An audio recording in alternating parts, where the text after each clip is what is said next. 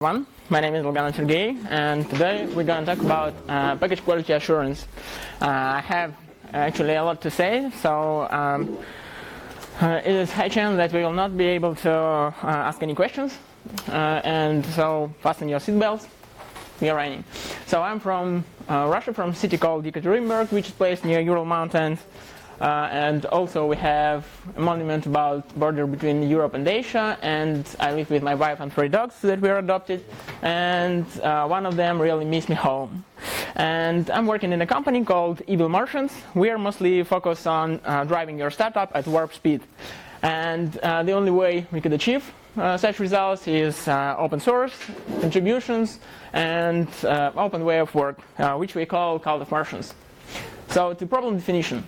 Uh, as I said, uh, today uh, we build business uh, software using a lot of open source dependencies. And let me show you some statistics about uh, Ruby open source. So here is the data about um, seventh uh, year, and it's the usage of Ruby gems. So the first line here is the total usage of open source Ruby packages we have uh, here a community of uh, 90,000 uh, contributors and um, around 100,000 projects. And um, it's look pretty okay, but uh, if we'll remove um, only one percentile here, uh, which I mean the 1% uh, of the most highly adapted project we'll see that actually a number of downloads uh, drops and uh, while the number of projects changed only by 1000 and number of contributors also uh, dropped drastically. And uh, actually the problem uh, reveals when we see the uh, last line where we have still hundred millions of downloads of packages while we have more than 100,000 of projects and number of contributors is much much less. So we have less than uh, half of a developer per project. Uh, so what's the problem? of course, we have high demand, uh, lack of participants, and uh, especially in the uh, field of not highly adapted projects. So high risk of enterprise failures and of course high pressure over maintainers. Uh, also I want you to compare that we have only less than half of maintainer per uh, not highly adopted project versus 20 contributors uh, for highly adopted projects. yeah, a couple of words why I'm doing such research. Uh, a while ago, I created a project called Ossert. It's open source, and uh, it helps you whether you decide to add or remove some open source dependency. So uh, let me show you how it works. So this is the main page. And uh, we see here a score about maintenance, about popularity of the project, and maturity is just combination uh, of those uh, groups. We have metrics for each group, and each metric has the score. Um, how the scoring system works, pretty simple. Uh, so uh, I've just gathered information about every open source project de uh, developed in Ruby, uh, measured the uh, metrics, and divided values in five groups, A to F. And then uh, I'll be able to find the distance between current project values and some of the group. The name of the group, actually the score. So it works for the metric and for uh, group of metrics. Uh, and problem actually with the author, not the ranking system, but the names of the grades and marks uh, and the colors. So um, actually, when I created it, the idea was uh, to show amount of risk. So when you uh, use highly adapted software and the score is high, uh, there is a less chance of failure in production and also the higher chance that uh, fix will be introduced soon. Uh, on the other hand, for uh, low score, we have the opposite. But the problem here is that such system encourage people to more focus on ad already adopted software, uh, which which was proved and uh, which also has high quality. At the same time, the other project, and uh, there is a huge amount of them, uh, needs more support, needs uh, contributions, but people will not use them because their score is low, and it's unclear why some developer could choose a project with low score. So that's why uh, today we'll focus on the uh, what I call mid-sized projects, or the projects that uh, were not highly adopted because uh, for them uh, quality is the main issue, and also uh, the lack of resources. So we need a way to optimize their process to achieve higher quality. So what uh, what is the way to solve the problem. Uh, at first, we need to understand what quality is and how we could measure it. Uh, then uh, we need some kind of risk risks model, uh, which will uh, show us how we could actually action in this field. So when we know risks and we know some measurements, we could make decision about how to behave in the process. So we could improve end user experience. So when I started, I found existing research, of course, and uh, here my complaints about it. Uh, most of the papers were outdated, uh, another, another were too specific. And that, that, doesn't mean that uh, they were not good, but they were not, not applicable. Uh, but one thing worried me the most is the focus on similarities with appropriate software. So those papers tried to apply techniques from appropriate software to the open source, and uh, let me show you why it will not work, especially to mid-sized projects. So let's say we have some a business application. We have a customer which pays us money, which creates obligations, requirements, but at the same time gives us resources.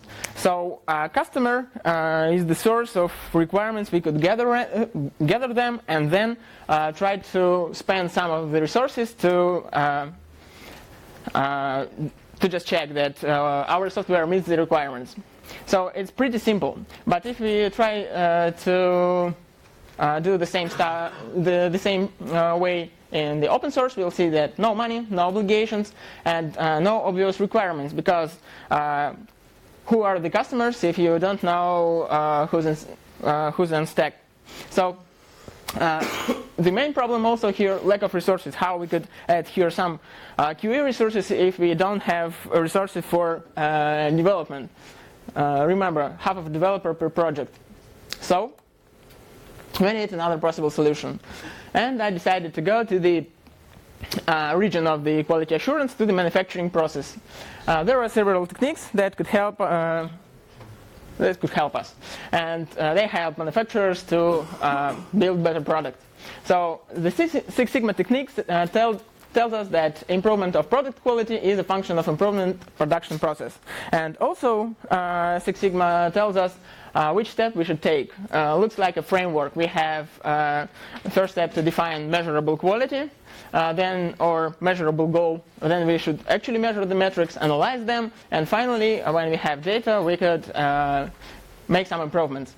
And of course, after each improvement, we should control that action were successful. So another thing is the lean process uh, as the evolution of the uh, Six Sigma, and uh, it's also added some uh, important fact that uh, you should not only focus on the uh, process abroad, but uh, you should focus on reducing resource wastage. Uh, in uh, manufacturing process, it was about time, so they wanted to spend less time on product production, so they succeeded in that. So let's try to apply it. But before, oh yeah, uh, this uh, moment uh, uh, lesson about risks. Uh, once I've returned home and found that my dog uh, is near a ruined sofa, and I was surprised because she never behaved that way, and I made the research. I found that uh, under the sofa there was old toy, and I also remembered that many times I saw my dog sniffing around, and that was a lesson about risks. When you know your risks, you could control them, and also uh, you could be in the safe, on the safe side. So uh, that is why we should do risks analysis and stay on the safe side and uh, achieve better quality. So uh, what do we need? We need uh, to build efficient process, measurable quality definition, uh, and uh, analyze risks, and of course, waste optimization. So uh, let's take a look under the hood of the mid-sized project. Here is the statistics about, uh, again, top uh, op Ruby open source. I gathered it using the author. And uh, on the right side, you could see downloads or installed per, uh, average installs per project.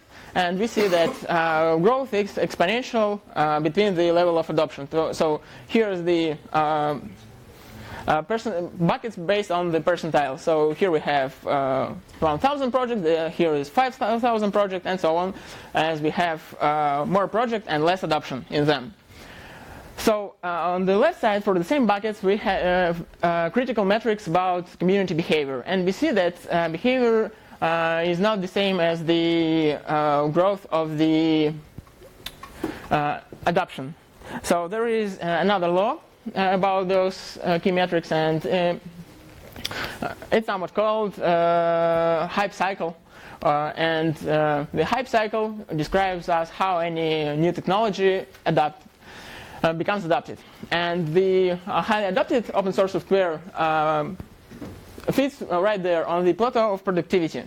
Uh, but uh, the mid-sized projects uh, are spread uh, around other parts where we, we see different crises in, in the flow.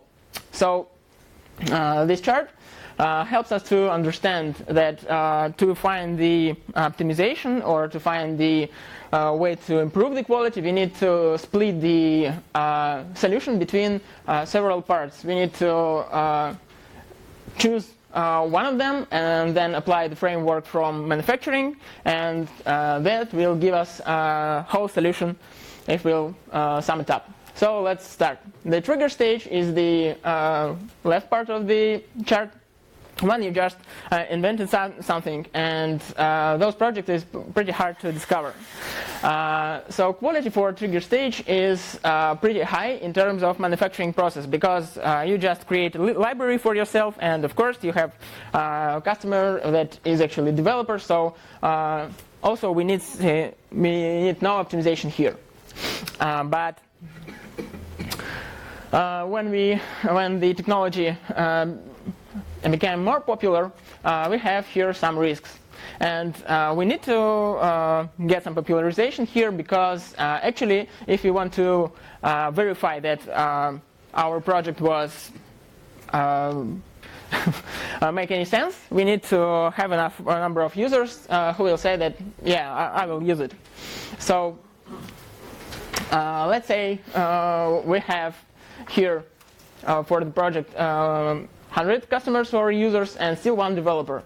So uh, the quality could be uh, calculated here as the um, function of um, customers growth, then uh, the uh, again number of uh, defects or bug, bug reports, and in overall we'll see uh, the kind of quality of this of the project on that stage.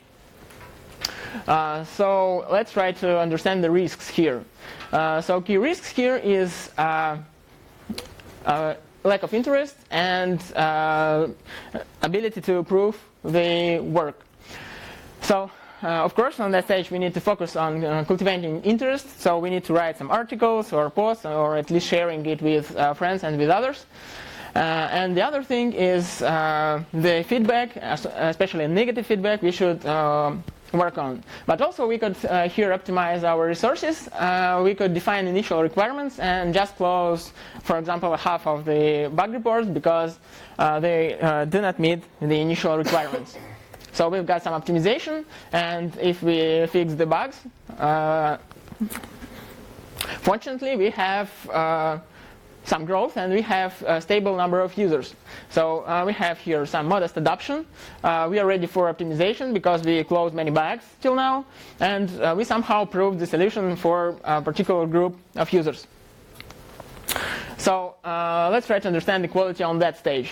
Uh, here we have um, more number of customers. We still have around one developer and uh, for now, we are ready to focus on feature requests.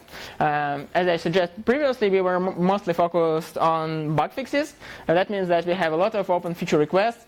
And uh, that is why we should focus on uh, source quality. And sometimes, when you, uh, the amount of the adoption grows, uh, you also need to focus on solution optimization. So uh, let's try to understand the risks. The risk here, here is sustainability because when you have 1,000 users, uh, you actually could not just uh, uh, you couldn't just leave the project, uh, but you could help other maintainers and contributors if you will decide actually to leave. Uh, so I suggest to write source documentation to cover this as a risk. And the second thing, make it right or uh, introduce here more features and also, um, as I said, uh, improve the source quality by known techniques. And optimization here is also available. It's the uh, it's available in case of overgrown scope when you don't know which of the features you could choose. Uh, you could define strict feature requirements. So finally, uh, if you you have uh, closed enough feature requests and uh, made all these uh, actions, so hopefully you will be on productivity stage and you're very close to the highly adapted open source software. So somehow we've got to the uh, point where we could understand how to improve the quality of the mid-sized project uh, on each stage. Uh, also, the ideas that I expressed uh, right now, pretty uh, briefly, uh, I expressed in the document called maturity model, and I'll show and I'll share them in the end. And you could try to discover maybe something interesting for you. So let's try to define the quality overall uh, in measurable way. So measurable way is to say that uh, we could, we could uh, measure the community or adoption. We could measure uh, docs, implementation and support. So finally, we could uh, somehow create a tool uh, that will show us some clue about what quality of the project is, especially as we know that amount of research around the uh, documentation checks, implementation uh, quality checks is pretty huge. But I want you to focus on uh, another moment. Uh, it is the uh, idea that we could simplify our uh, function. if you'll say that actually implementation, documentation, support, this is all the community but not the growth of community, it's the community behavior. Uh, that uh, leads us to a hypothesis that quality is just a function over the community behavior.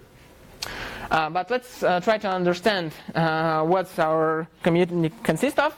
Uh, community is actually the spectators uh, who just discuss the uh, technology but never but they never uh, use it and they maybe just share some uh, posts in, in, Twitter or stuff like that.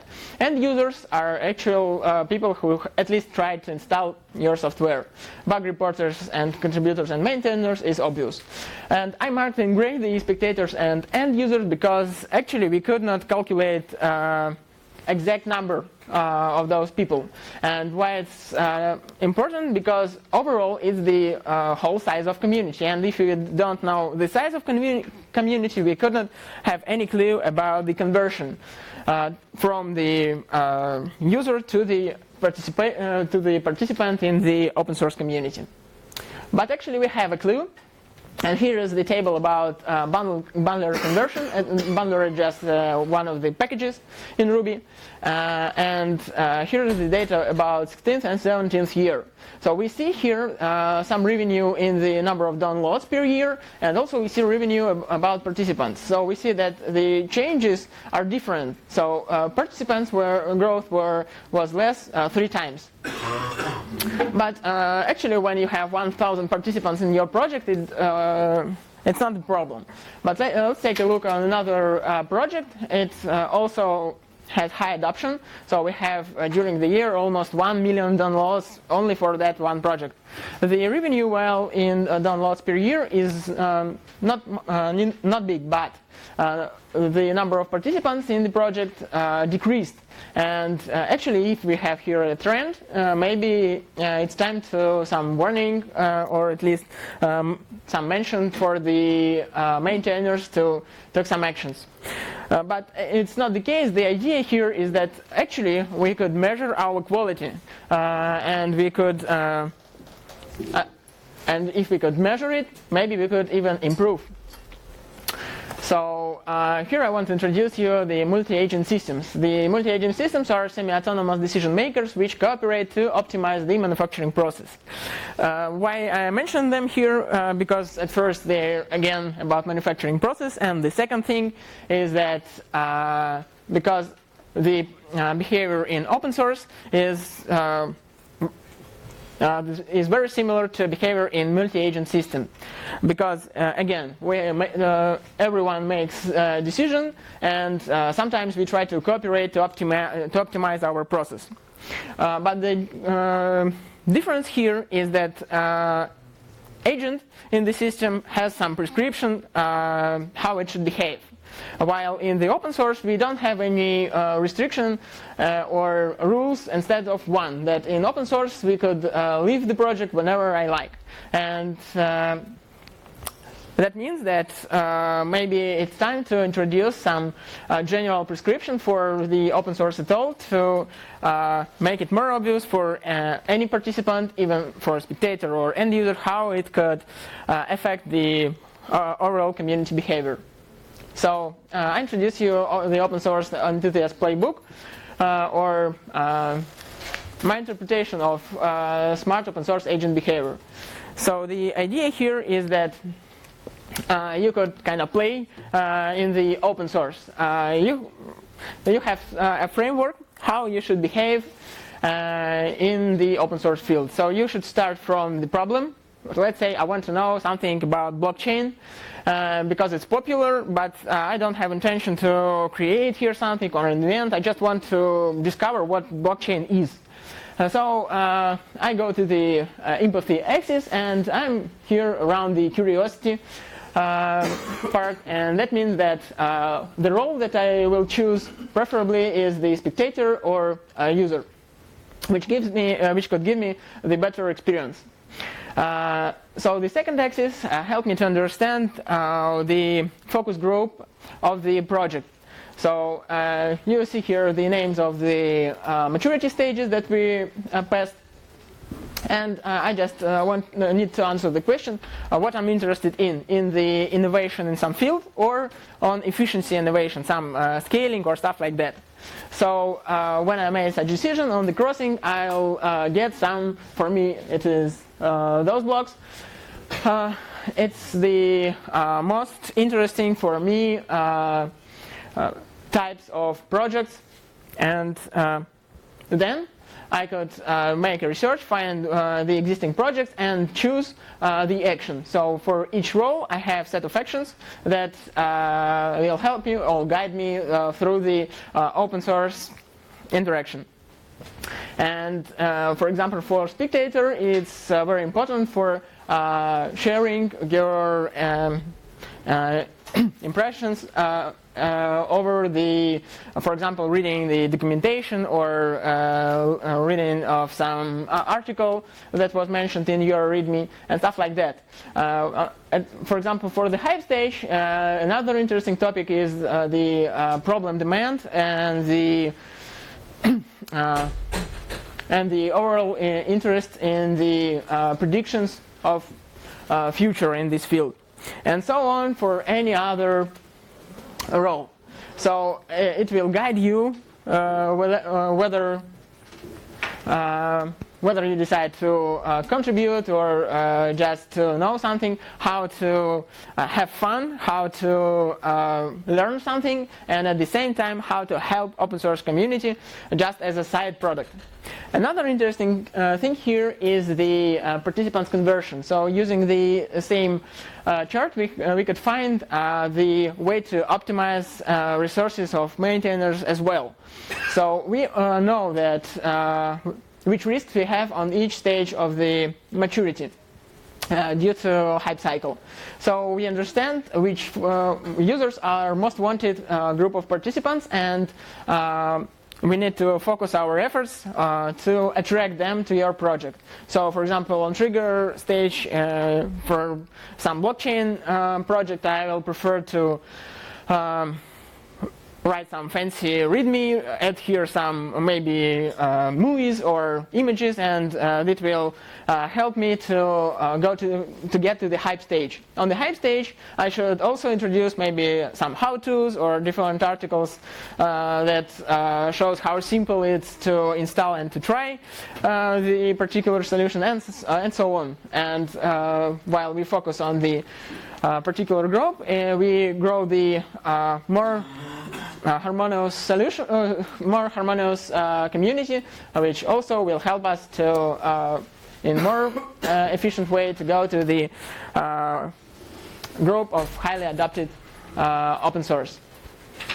So uh, let's summarize. Quality is the function over the uh, community, implementation, docs, and support, and uh, likely we'll, we'll, soon see a tool that will help us to measure the quality.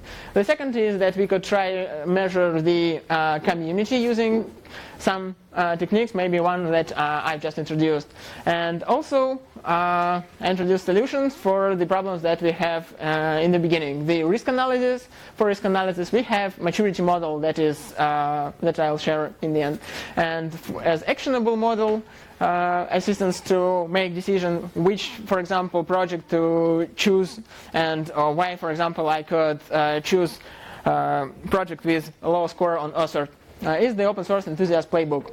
And final thing is uh, I want to give a new life to the Ossert. If you, even if you don't work with uh, Ruby, I'll uh, ask you to go to the page, uh, take a look, and you find, if you'll find uh, interesting the calculations or representations, just share me, with me your impressions, share me, with me your in issue uh, an issue, and um, I'll try to implement Ossert in other on other platforms or for other languages. Thanks. This is the open source quality GitHub IO, and tweet me in here, SS Dolganov. So uh, thank you very much. Oh yeah. Yeah. So does your model assume that it seems like you're optimizing the needs of the contributors and, and the maintainers independently.